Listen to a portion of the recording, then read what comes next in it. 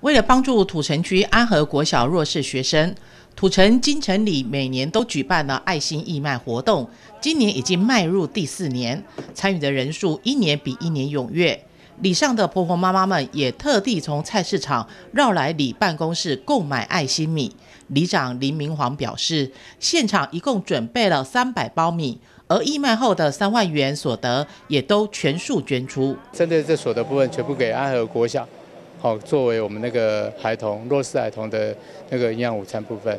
然后呢，这也是由民间团体来赞助的，好，所以说也真的非常感谢民间团体跟我们的所有职工来协助，还有各里面的帮忙。林里长的义卖活动受到许多民众热烈的回响，许多家长带着孩子一同前来参加公益，用身教为孩子树立最好的示范。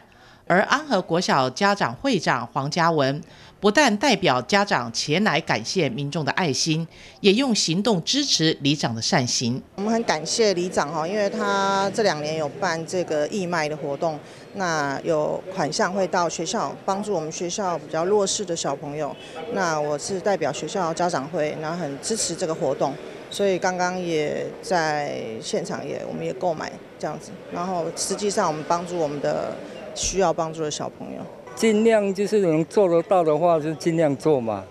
哦，我们是一般老百姓，也是一般生活，就是能帮忙就尽量帮忙，就是这样子。公益活动的帮助对象为安和国小的弱势学生，会将经费运用在学生的课后辅导、紧急支出以及营养午餐等等。